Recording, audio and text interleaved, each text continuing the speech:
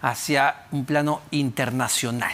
No, pero siempre vinculado al Perú, evidentemente. Ya estamos con Farid Cajat, internacionalista, profesor de Relaciones Internacionales en la Academia Diplomática del Perú y también en la Pontificia Universidad Católica del Perú. ¿Cómo está, Farid? Muy buenas noches ante todo. Y quería hablar, a ver, de cómo, cómo nos ven ¿Cómo nos ven desde fuera a razón de esta cumbre donde participa el presidente de la República, Pedro Castillo? Me parece que fue con el ministro de Economía, Oscar Graham. Hoy día había algunas eh, presentaciones de él. Eh, y, hablaba de un Perú que quizá a veces uno lo escucha y dice, bueno, pareciera que está desconectado de lo que viene pasando en realidad eh, aquí. Pero desde tu punto de vista, ¿cómo nos ven desde fuera? A ver, en un mundo en el cual hemos tenido eh, una pandemia, eh, el conflicto comercial entre Estados Unidos y China, la guerra de Ucrania, América Latina en general no es una región prioritaria para las grandes potencias y menos aún el Perú, que no es Brasil, por ejemplo. ¿no? Entonces, la buena suerte que tenemos es que no estamos llamando mucho la atención. Eh, pero cuando llamamos la atención contra lo que uno pudiera creer, no siempre es para mal hay una distinción entre eh, desempeño económico. Por ejemplo, la revista The Economist tiene dos informes que son muy interesantes porque en uno, que es sobre qué países pueden aprovechar el mini ciclo de materias primas, eh, mini boom, digamos, de materias primas, eh, en América Latina y el Caribe, están cinco países de Sudamérica, entre los cuales el Perú. Cobre. El cobre, sobre todo. Pero la misma revista Economist elabora un informe sobre el hambre en el mundo, en parte producto de la guerra en Ucrania, y eh, Perú es uno de los países en mayor riesgo. El Banco Mundial en abril revisa su expectativa de crecimiento o su proyección de crecimiento para el Perú al alza, de 3.2 a 3.4 pero Financial Times, una revista del ámbito de negocios importante, saca un artículo titulado Se está convirtiendo el Perú en un país ingobernable. Es complejo. Farid, le pido unos instantes, tenemos que ir a los anunciantes y venimos para seguir analizando este tema.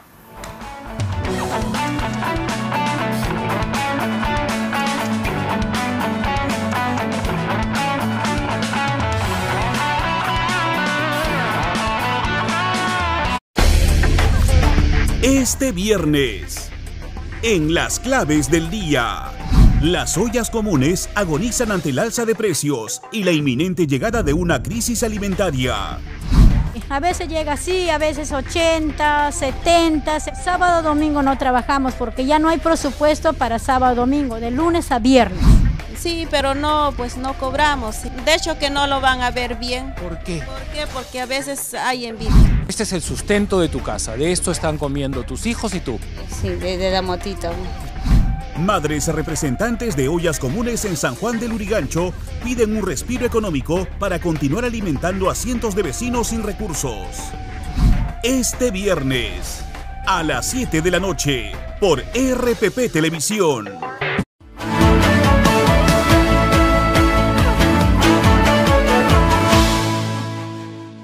Le presento en inglés a mi jefe, sabrá que no soy bilingüe. Y si sabe que no soy bilingüe, dejaré de ser su ¡Relájate! Para lograr la fluidez hay que dar el primer paso con Open English. Más del 93% de nuestros estudiantes recomiendan nuestro método para aprender inglés online con clases en vivo ilimitadas. Da el primer paso tú también y sé bilingüe. Inscríbete hoy en openenglish.com. El símbolo de los 80 y 90 por primera vez en el Perú. Billy Idol en Lima. 4 de septiembre, Arena Perú. Entradas a la venta en Teleticket desde el 11 de junio. Preventa exclusiva clientes Interbank 9 y 10 de junio. 25% de descuento con tarjetas Interbank. Sebastián Yatra en Lima. El 8 veces ganador del Grammy y nominado al Oscar. Regresa para presentar su Dharma Tour. Baila con sus mejores éxitos este 19 de agosto en el Arena Perú. Compra tus entradas en Teleticket y vive una noche con lo mejor del pop latino. Sebastián Yatra en Lima. 19 de agosto, Arena Perú. Gracias a Estudio 92. Primeros en tu música. Soy Mauricio Fernandini y estoy en RPP. RPP, la voz de todo el Perú.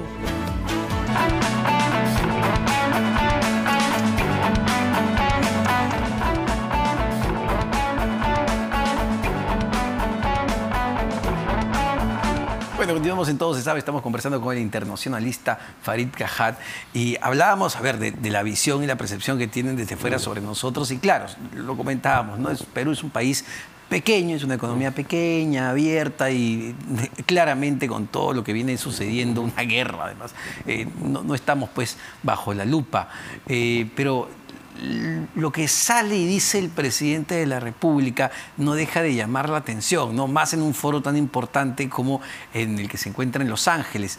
Cuando habla de, de los América para los americanos, uh -huh. ¿no? que, que, que, entiendo tiene que ver con eh, esta teoría, no sé si lo estoy diciendo bien, de, del expresidente Monroe, de data sí. 1800 y pico, sí. me parece, pero mucha gente no sabemos qué significa, pero a ver, ¿Sabrá el presidente qué significa esto?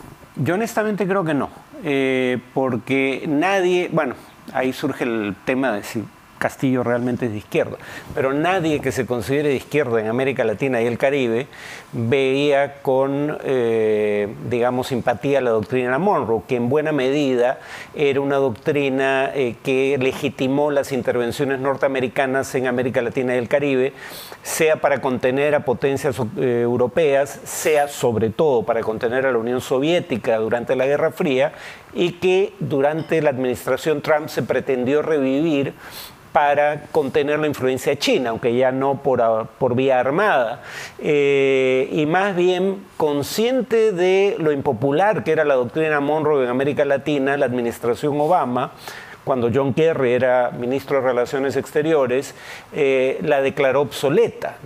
Eh, Trump es quien la revive y ahora, una vez que Trump deja el gobierno, parece revivirla Pedro Castillo que presuntamente era el candidato de un partido que se define como marxista-leninista y que aborrece la doctrina Monroe. Exacto, porque, a ver, quizá para explicarlo de alguna manera, y si no lo estoy explicando quizá eh, bien, es promover eh, el colonialismo económico. ¿No? A través de las inversiones. Era peor. Eh, la doctrina Monroe justificó invasiones como la de República Dominicana, la de Panamá o Grenada. O sea, a ese nivel se, se invocó, ¿no? Eh, además de que, claro, digamos, eh, un partido marxista-leninista pensaría que eh, las inversiones provenientes de Estados Unidos son inversiones que provienen de la primera potencia imperialista del mundo. No es el tipo de inversiones que eh, un izquierdista radical querría atraer, pero por suerte eh, este gobierno es caótico y corrupto, pero no comunista. y, justamente a partir de lo que, del comentario, la frase que lanza Pedro Castillo, nada menos que Vladimir Cerrón uh -huh. lanza un tuit porque habrá escuchado esto y se habrá estado jalando los cabellos y en su uh -huh. cuenta de Twitter, no sé si lo podemos poner, pero yo lo tengo, yo lo tengo por acá, eh, donde dice, a ver, pone un extracto, eh, la doctrina Mon aquí está, la doctrina Monroe sintetizada en la frase América para los americanos. Y él señalaba que no debió pues acudir al evento bueno, no, no, lo tengo acá, a ver si lo podemos buscar el tuit, pero critica directamente a Pedro Castillo, no solo por asistir a esta cumbre, sino por eh, señalar esto. ¿no? Bueno, al, algunos gobernantes de izquierda asistieron, ¿no? Eh, Boric eh, o Fernández, de Chile y Argentina sí. respectivamente, pese a que hicieron notar su discrepancia con el hecho de que el anfitrión excluyera unilateralmente a tres países, sí. Cuba, Nicaragua y Venezuela. Pero hizo lo mismo, en ese sentido yo no veo el problema con la presencia de Castillo ahí. Eh, México sí no fue. México finalmente decidió no ir. Pero habría que decir que López Obrador jamás le enmendó la plana en nada a Donald Trump, porque verdad, Trump lo amenazaba verdad. con sanciones. Ahora recién se envalentona con Biden que por lo menos en público no lanza amenazas, como sí hacía Trump. Bueno, entonces Pedro Castillo, digamos, no es que haya sido eh, precisamente notorio en esta cumbre. No, lo, los reflectores no estaban puestos sobre él. No, definitivamente no, pero Estados Unidos, para Estados Unidos era útil la presencia de Castillo porque era importante que eh, no se sumara un boicot que venía bueno, no, no solo de gobiernos de izquierda, porque los gobiernos del de Caribe que no acudieron no eran necesariamente de izquierda, y yo creo que ahí más bien está la dependencia de eh, programas como Petrocaribe, para explicar por sí. qué no acudieron. Pero digamos, se supone que este es nominalmente un gobierno de izquierda que además dijo que no estaba de acuerdo con la exclusión de estos tres países, pero decide acudir. En ese sentido le es útil a Estados Unidos. No todos los gobiernos de izquierda que criticaron la decisión norteamericana en cuanto a quienes debían participar en el evento eh, boicotearon la reunión. Eh, pero digamos, muy importante no fue su presencia. Su discurso, francamente, si no fuera por esa frase final, pasa directamente al, olvido. al olvido Y ahora, el discurso, porque asistimos a este tipo de cumbres, Estados Unidos nos invita, está bien, no, hay problema de ir. Eh, el Foro Económico Mundial, hace poco estuvo invitado el presidente, termina yendo Dina Boluarte, eh, y, Dina Boluarte sí se lanza pues con un discurso en un foro eh, económico, empresarial, político de altísimo nivel, con un discurso claramente antiminero pero terminan teniendo, digamos, algún tipo de, impacto, resonancia en los eventos, porque claro, en Perú se criticó, se cuestionó la postura de Dina Boluarte, pero ¿termina teniendo alguna repercusión fuera? No, eh, digamos, solo rebotó hacia acá, ¿no? Eh, fuera no llamó mayormente la atención. Ahora, lo que habría que decir, sin embargo, es que, por ejemplo, yo sí creo que era razonable pensar en la posibilidad de un impuesto a las sobreganancias, como el planteado por eh, Pedro Franque cuando era ministro, con eh, el aval del Fondo Monetario Internacional, dentro de márgenes muy estrechos, eso es cierto. Pero digamos, este gobierno que se dice de izquierda tenía ahí la oportunidad de aplicar una política de izquierda que podía ser considerada razonable, hacer algo más progresiva la tributación para tener recursos que se destinen a gasto en público en salud y educación. Pero esa fue una medida por la cual no se jugó nadie en este gobierno. ¿Te parece, Farid, que este gobierno es de izquierda, derecha, de algún lado? A ver, estuvo el señor Valer aquí. Pedro Castillo tuvo a Bellido de primer ministro y a Valer. ¿Qué tienen en común?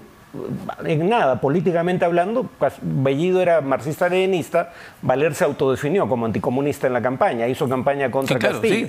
en el Ministerio de la Mujer ha habido por lo menos tres ministras la primera fue feminista, la segunda fue antifeminista, la tercera fue feminista.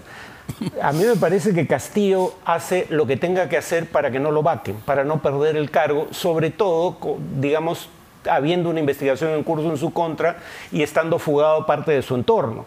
O sea, sabe que de perder el cargo probablemente perdería la libertad también. Tremendo. Muchísimas gracias por este análisis, Farid. Farid Cajat, internacionalista, profesor además de la Pontificia Universidad Católica del Perú y de, eh, Relaciones Internacionales en la Academia Diplomática del Perú. Hemos llegado al final de Todo se sabe. Recordamos algunos titulares que nos han dejado las conversaciones de esta noche.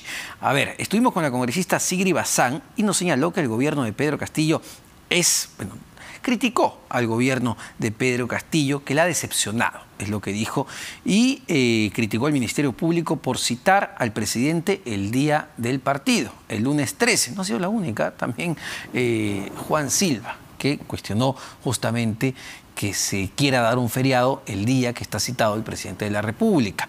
A ver, también estuvo con nosotros Héctor Valer y dijo que si el pueblo eligió mal, el pueblo se la tiene que jugar y cree en la inocencia del congresista Pedro Castillo, perdón, del presidente Pedro Castillo.